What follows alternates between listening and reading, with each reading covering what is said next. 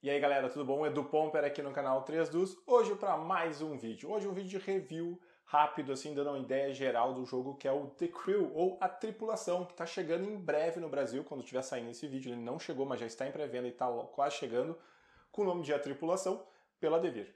Ele é um jogo de cartas, onde nós somos um, uma tripulação de uma espaçonave, nós somos astronautas, é um jogo colaborativo, em que nós vamos ter que completar missões. Ele na caixa ele diz aqui tem essa minha versão portada de 3 a 5, mas ele tem uma variação para dois jogadores, que vai entrar uma inteligência artificial ali no meio. E a ideia é o quê? São vasas. Cada um baixa uma carta, a gente vê ali quem é que venceu a vaza, quem tem a maior carta do naipe correto, e ganha a vaza. Só que que a gente tem que A gente tem missões, e a gente tem que conseguir completar aquelas missões antes que acabem as cartas, ou que a gente descarte uma carta que seja impossível a gente ganhar a nossa missão ali. Então é um jogo simples, ele teve bastante repercussão no passado porque ele venceu o Kenner Spiel, né, que é um prêmio lá na Alemanha, bem famoso. Tem o Spiel de Ars, que é o jogo do ano, e tem esse aqui, o Kenner Spiel, que seria um jogo um pouquinho mais complexo. O cartógrafo do Jordi, né, designer nacional, concorreu com ele na final, mas ele que venceu. Então vamos lá, eu vou dar uma visão geral, vou mostrar os componentes e em breve vai ter vídeo de regras também aí no canal. Então, não deixe de se inscrever e curtir esse vídeo e vamos lá, vamos dar uma olhada então de como é que funciona o A Tripulação.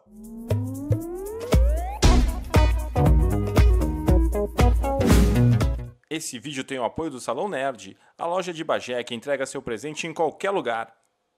Muito bem, pessoal. O jogo ele é um jogo de cartas, ele tem dois baralhos basicamente. Eu vou mostrar aqui primeiro vocês esse baralhozinho, que é o baralhozinho de cartas pequeno. Ó. Vocês estão vendo são o quê? São quatro naipes, quatro cores diferentes aqui, verde, amarelo, rosa e azul. Tem um azul que não está aparecendo aqui, ó, azul. Numerados de 1 a 9, ou seja, tu tem 36 dessas cartas. Isso aqui vai ser embaralhado, e aí vocês vão ver depois ali no livro de missões, o jogo vem com 50 missões, vai dizer quantas cartas dessas tu vai retirar do deck e vai abrir na mesa. E aí essas cartas vão ser distribuídas para os jogadores. Então, por exemplo, um jogador pode ganhar esse aqui, que é um 3 verde. O que, que significa? Ele tem que ganhar uma vaza que tenha o 3 verde baixado. Por quê? Como assim? Então esse aqui é o deck de missões, cartinhas pequenas. Nós temos um outro deck de cartas que é quase idêntico, na verdade, são as mesmas 36 cartas, só que em tamanho grande aí, ó. Então, aqui, ó, até deixei organizado esse para vocês verem, ó. São quatro cores de 1 até 9, então são 36 cartas. Nesse deck também vai ter quatro cartas, que são os foguetes numerados de 1 até 4. Aqui, ó. Esses caras aqui são quatro foguetes que tem no jogo. E também cada jogador recebe uma carta dessa aqui, que vai ser uma carta de lembrança, que a gente vai usar elas quando a gente for se comunicar de uma maneira que eu já vou explicar no jogo. Então, o que a gente vai fazer com essas cartas, jogando de 3 a 5 jogadores? Tu vai embaralhar isso aqui e vai distribuir todas. Tu vai pegar e vai distribuir dupla de jogadores. Vai, dependendo da quantidade de jogadores que tiver, nem todo mundo vai ter a mesma quantidade de cartas, mas tu vai distribuir todas elas e tu vai ter a tua mão de cartas ali para jogar. Quem tiver a carta número 4 de foguete é o primeiro jogador, é o chamado comandante, e recebe esse token aqui de primeiro jogador, de comandante, né, primeiro jogador, naquela missão. E é ele que começa. As outras vasas, quem começa é sempre quem venceu a vaza anterior. Tá? Então, o que, que tu vai fazer na tua vez? Né? Vamos dizer que o primeiro jogador ele vai olhar a, a, a mão dele, ele vai olhar as missões também que ele tem, né? lembrando que vai ter missões distribuídas ali, e ele vai baixar uma carta. No momento que tu baixa uma carta, por exemplo, baixei um 3 amarelo, todos os jogadores devem jogar cartas amarelas. Então o próximo jogador vai ter que jogar uma carta amarela, o próximo e o próximo. Vamos dizer que está jogando em 4. Quem tiver a maior carta é o vencedor e leva a vaza. Então, por exemplo, vamos dizer que eu baixei um 8 amarelo, o outro jogador baixou um 4 e um 5. Então eu levei a vaza com 8. E vamos dizer que eu tinha a carta de missão 3 amarelo. Então eu consegui vencer uma, va uma vaza com 3 amarelo, o que, que eu faço? Eu venci aquela parte da missão ali, consegui completar o meu objetivo, eu viro a carta. A ideia é simples. Tá, mas se eu não tiver a carta amarela para baixar? Bom, aí tu pode baixar qualquer outra carta de outra cor, mas tu só pode baixar de outra cor se tu não tem daquele naipe. E o foguete é o seguinte, o foguete ele, ele ganha. Se alguém baixar um foguete, lembrando que tem só quando não tem a da, da, da cor exigida, ele vai fazer o quê? Ele vai pegar e vai vencer a vaza, não importa. Se tiver mais de um foguete, quem tiver o maior foguete vence a vaza. Então, basicamente é isso, mas é só isso o jogo? Não, não é só isso o jogo, pessoal. Por quê? O jogo ele vem com um manual, tá? E na parte de trás do manual é o livro de missões. E aí, esse livro, ele vem com 50 missões, tá? Começa lá, aqui está explicando, aí começa, cada uma tem umas missões, obviamente as primeiras missões são mais simples, Mas conforme tu vai andando, tá? as missões vão ficando mais difíceis e vão aparecendo regras novas no jogo.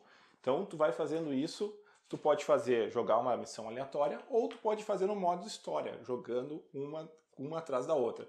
É legal que vai aumentando a dificuldade, né? E tu vai aprendendo a jogar o jogo mais rapidamente.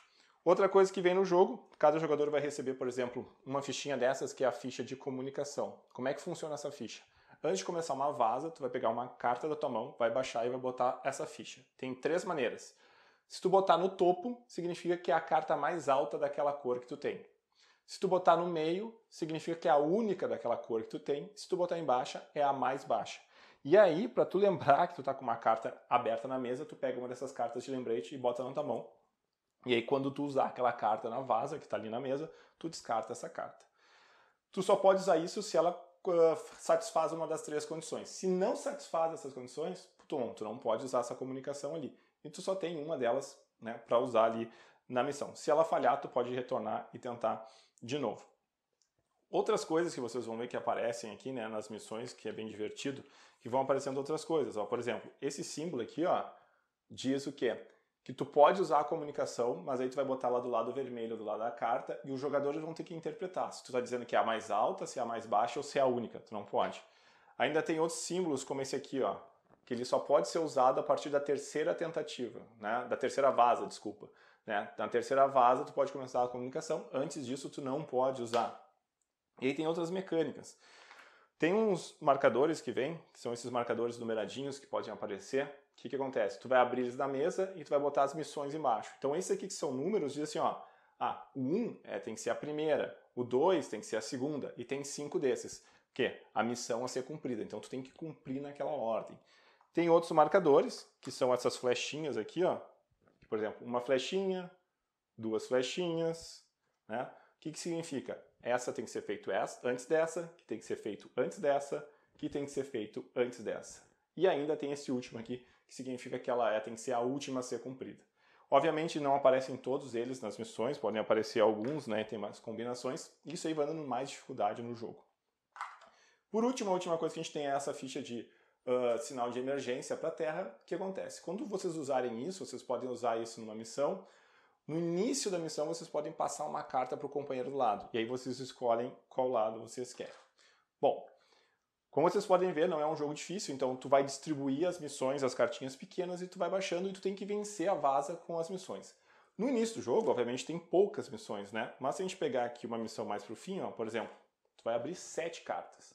Então vai ter jogador que vai ter duas cartas, três cartas de missão, talvez, depende da quantidade de jogadores que tu está jogando. É.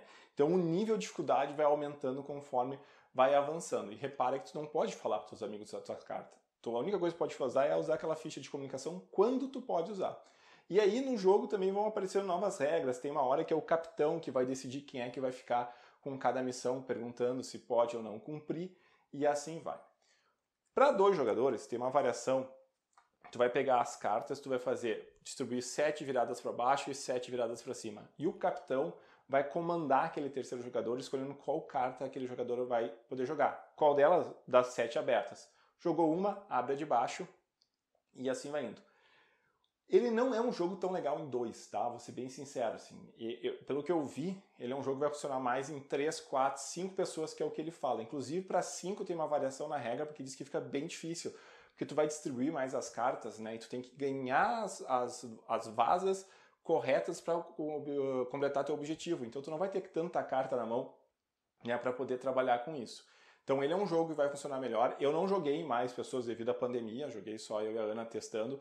Legal em dois jogadores, mas realmente vai ser um jogo que vai brilhar mesmo, 3, 4, em 5 eu acho que ele vai ser super desafiador. Deve ficar bem difícil ganhar ele. Então, é um jogo bem simples, jogo de carta, tá chegando aí, ganhou o prêmio. Eu achei bem inovador, achei bem diferente. Quem gosta de jogo cooperativo, é um jogo que tu explica super rápido ali, né? Tu vai explicar, ó, tu vai baixar uma, uma, um naipe aqui, tem que seguir o naipe, senão der muda a carta e tem que vencer. E tu não precisa explicar todas as regras quando começa o jogo. Até o manual ele é dividido assim. Tu pode explicar só como é que se vence a vaza, como é que se completa os objetivos e jogando. Conforme vai aparecendo nas missões novas coisas, aí tu vai explicando, ó. Porque nas primeiras não tem, ó. Nessa aqui vai aparecer os tokens. Ah, então olha só, pessoal. essa primeira aqui a gente tem que completar primeiro essa, depois essa, né? Das missões que vão estar ali. Repara que vão ter duas, né? Depois aparece aqui, ó, não pode vencer. Aí vai estar explicado aqui, tu vai ler no manual e vai explicar a regra. E assim vai indo, conforme for aparecendo os ícones, tu vai explicando o jogo. Então super fácil de explicar e fácil de jogar, bem divertido, jogo cooperativo. Eu acho legal esses jogos assim que tem a comunicação bem restrita, eu acho bem desafiador. Por exemplo, o Hanabi é outro, né, que tem isso de tu ter a comunicação super restrita. É difícil, né, de tu manter o foco e acabar não roubando, entre aspas, né? Não é roubando, mas às vezes tu acaba burlando a regra sem querer, com aquela ansiedade de querer jogar. Então, jogo simples, galera, divertido, bem desafiador. Tô louco para poder jogar ele em mais pessoas para ver bem como é que ele funciona aí em galera. Como eu falei, né, não consegui jogar ele. Eu sei que agora ele também está no BGA, quem quer testar ele aí no Board Game Arena, dá para jogar ele online, né? E eu acho que é um jogo legal assim, mais em tempo real, né? Pegar e jogar ele em tempo real com o pessoal para ver como é que funciona. Certo? Então tá aí, pessoal. O vídeo de hoje era para dar uma por cima aí do, da tripulação que está chegando no Brasil para Devir. Espero que tenham gostado. Até uma próxima. Aquele abraço.